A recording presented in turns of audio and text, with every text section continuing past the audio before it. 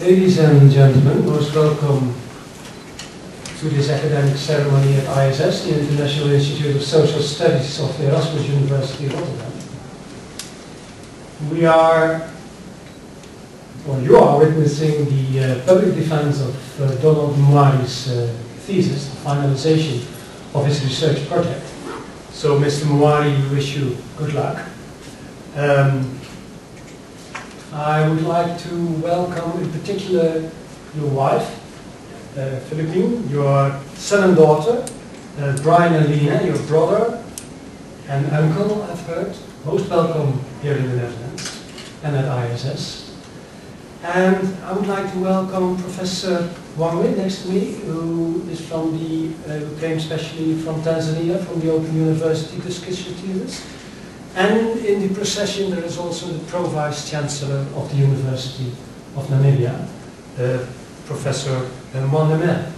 Most welcome. So again, that shows that we are really an international institute. I'm very grateful for you all abroad who uh, came, that you came to ISS. Mr. Donald Mmari, um, I'll give you the opportunity to, uh, to summarize for us uh, the content of your thesis, uh, your points of departure, and your conclusions. Please go ahead. Thank you. Mr. Rector Magnificus, examining committee, staff and students. This afternoon I present my thesis, Institutional Innovations and Competitiveness of Smallholders in Tanzania. I will first explain the context under which this research was undertaken, and then proceed with the analytical framework, findings, and finally the conclusion. In the contemporary globalized world, high productivity, quality, and efficiency are critical attributes of competitiveness. Since its independence in 1961, the Tanzanian economy has remained predominantly agricultural. Although the contribution of agriculture to GDP has declined from over 50% in, since 1960s to less than 25% today, it remains the single most important employer, occupying 75% of the labor force. A critical review of the economy, particularly the stylized facts on agricultural performance since 1961, however, suggests that smallholders who form a significant majority of agricultural producers are still caught in the low agricultural productivity scenario characterized by poor quality and low output. Hence, this research was inspired by the persistence of this poor performance in export crop production, despite different tra trajectories of policies and interventions. While certain policies and interventions of the post-independence constituted contributed to the poor performance in export crop production, the structural adjustments and trade liberalization that followed the crisis years in the mid-1980s failed to make significant reversal as envisaged. Therefore, the central hypothesis is that persistent structural and institutional constraints continue to inhibit increases in productivity, quality, and output of smallholders, and these require various forms of institutional innovations beyond the confines of markets as widely, widely theorized in the neoclassical tradition. The analytical framework was guided by the conviction that there is fundamental weakness in the conception of market institutions based on the neoclassical abstraction of free markets. This abstraction implies the view that the liberalization and the appropriate price signals will lead to the revival of agricultural productivity, as was put forward in the well-known Berg report published by the World Bank in 1981. Instead, the thesis is based on a framework that invokes the embeddedness of markets into social structures in the analysis of competitiveness of smallholders export, export crop production. It draws from literature on industrial organization, value chain theory, and institutionalist perspectives. Institutionalist perspectives developed and applied by different scholars such as Veblen, Hodgson, McIntosh, Winter, and others set an important foundation for centrality of institutions in the workings of markets. These have been combined interactively with discourses on industrial organization from scholars like Porter, Rodrik, and Hausmann, and the value chain theory influenced by the work of Gereffi, Dorward, Poulton, Kydd, and many others. The core argument underlying this framework is that proactive and collective actions among market and marketing and non-market institutions are crucial for addressing market failures and other policy and institutional rigidities that impede on competitiveness of smallholders. In the analytical pursuit of this argument, this research adopted an interdisciplinary approach under which four analytical handles were juxtaposed into an in-depth inquiry of three case studies involving smallholder production of cash crops. These analytical handles include the institutional design, land allocation and tenure systems, credit systems, and access to commodity markets. Three cases represent a, a diversity of crop characteristics, historical evolutions in their institutional setups, and existing organizational practices. This approach enabled a more detailed understanding of the processes of institutional change and their outcomes and interactions between different institutions and the importance of meso-level intermediaries. Having given the contextual background, the analytical framework and methodology, I will now move on to the findings. The findings of the research corroborate the central argument, showing that proactive and corrective institutional actions produce outcomes that are fundamentally different from those based from either markets or non-market institutions working in isolation. Specifically, the findings suggest that improving export crop competitiveness in the environment of smallholder production requires strategies to promote meso-level intermediate coordination directed at eliminating binding constraints specific to relevant subsectors as the three cases indicate. First, in the coffee subsector, it is seen that while the evolution in the pattern of global production and consumption of coffee has led to bifurcation of markets, Tanzania failed to position itself within a particular segment of the market and found itself left in the middle. The policy shifted towards relying solidly on liberalized market system, throwing the baby out of bathwater by not recognizing the role of meso-level institutions in sustaining quality and output of coffee.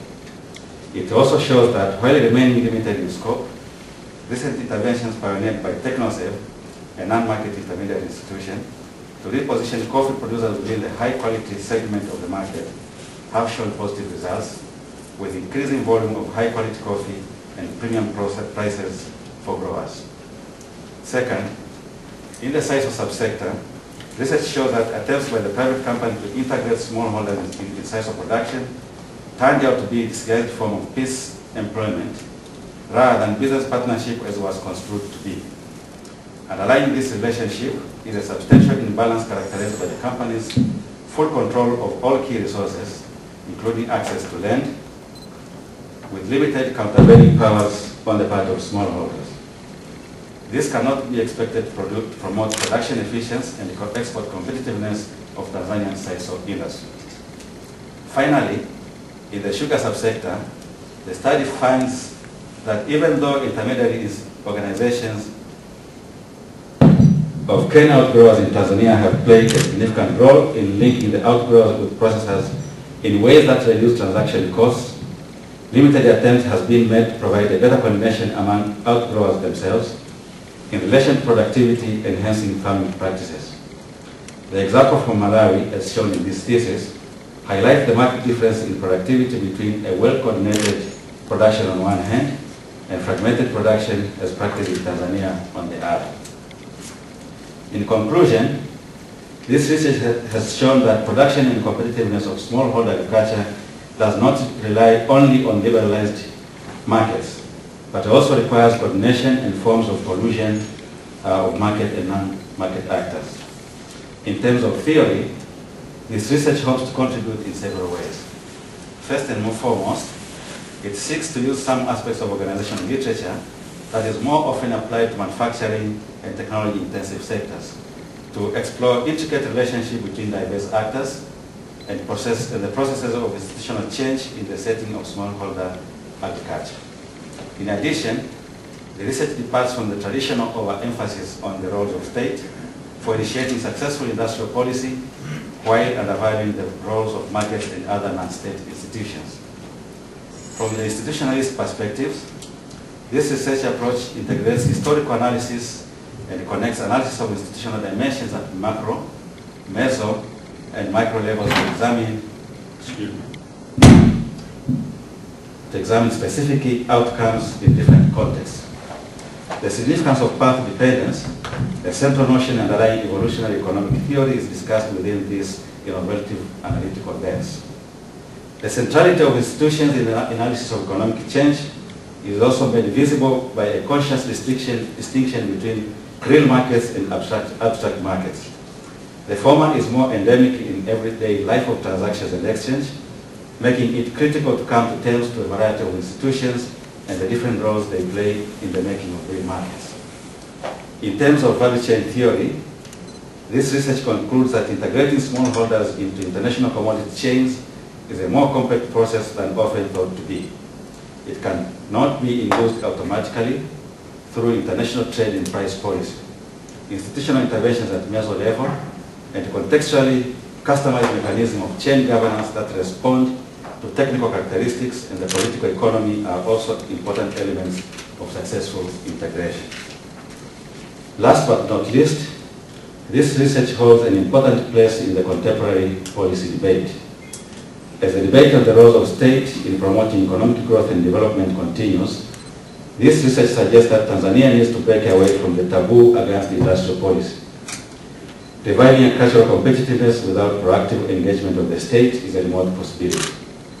While privatization is considered the best alternative for removing inefficiencies inherent in public enterprises, the process and character of privatization, together with the appropriate institutional interventions, do matter. Finally, in terms of agricultural development policy and strategy, this research shows that large-scale and small-scale farms need not to be treated as zero-sum game.